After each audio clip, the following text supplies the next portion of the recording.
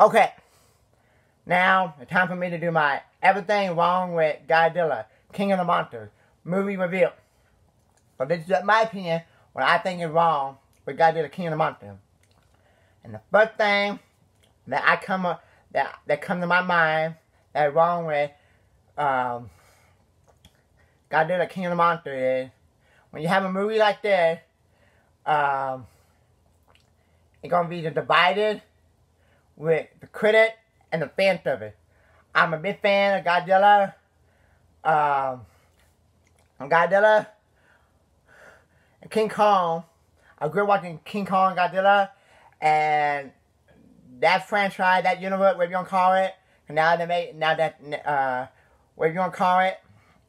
Uh, I grew up watching them, and when when you go and see a Godzilla movie or King Kong movie, you don't care about the um, the human character, okay? And um, the only time that I care about the human character is in the old uh, Toho uh, movie when they go, "Well, man, Godzilla, Godzilla," or or in the old Toho uh, Japanese Godzilla movie, it when uh, they either try to help Godzilla or they try they uh, try to kill Godzilla and they make a robot and stuff like that. And some of these monster Godzilla movie, the, human character are bland, don't work, they're annoying, and you don't care about. Like, the only character that they had that were working was in the first one, the 2014 one, Bryan Cranston, and he was good. Could take it back to the Stone Age. And, uh, like, the only negative thing that I hear about the movie is too much monster fight and not enough human character development. Well, the fan service of Godzilla don't care about the human character. And if you look at Rotten Tomatoes, um, the critic gave it 41 because they badmouthed them saying, oh, too much monster fight, not enough human character development. Well, the fan service don't care about the character development. We don't want showdown, King Kong fighting, King Ghidorah, Rodan, Mothra, all this stuff. And what did the audience give it? 90%. So if you go to Rotten Tomatoes right now, which I did, 41 from the critic, 90, 90 from the audience. That means the audience loved it. Okay? They're gonna they're gonna please the, the audience, the fan base, and everything. Okay? And um so um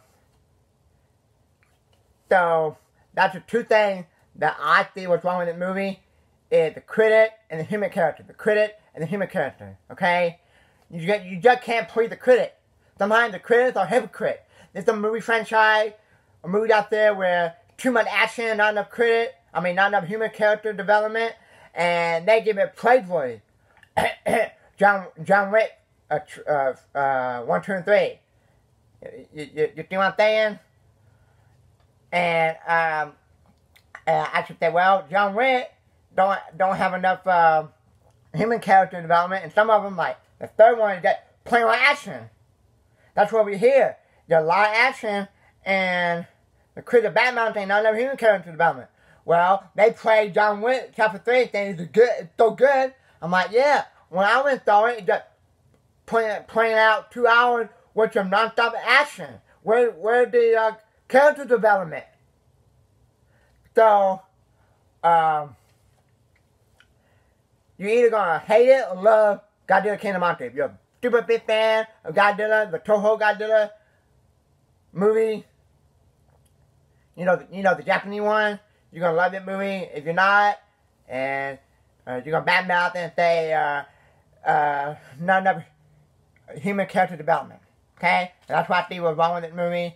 So, um, thank y'all for watching my Everything Wrong with Godzilla, and let me know what you think. Everything wrong with, with Godzilla, King of the Monsters, and thank y'all. If you're new to my channel, hit that like button, subscribe, and thank y'all. Run, run, run! Godzilla, Godzilla, Godzilla! Thank y'all.